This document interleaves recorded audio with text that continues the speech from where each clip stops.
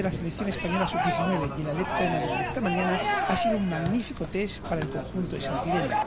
El seleccionador ha podido entrar en contacto con nuevos jugadores que por primera vez han acudido a una concentración de la Sub-19. Su juventud no ha sido obstáculo para mostrar un alto nivel competitivo. En la portería ha sobresalido la actuación del carismático Pau, siempre muy activo y también muy ágil en los uno contra uno. Es muy complicado y el portero siempre tiene que aguantar al máximo para no dar felicidad al, delantero. Pero bueno, al final tiene suerte de parar. Pues, era fuera de juego igualmente, pero bueno, no pasa nada, siempre hay que estar atento. La sub-19 se ha mostrado como un equipo muy serio en defensa, con gran capacidad de anticipación.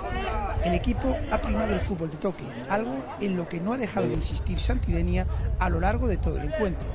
La idea que tenemos en, la federación, el perfil de jugador que se busca es, jugadores que, toquen, que la lleven de un lado a otro, ¿no? y que, bueno, que luego también tengamos velocidad en las bandas, pues lo que se busca en, la casa. Y gracias a ese estilo de fútbol han llegado las mejores ocasiones para la selección.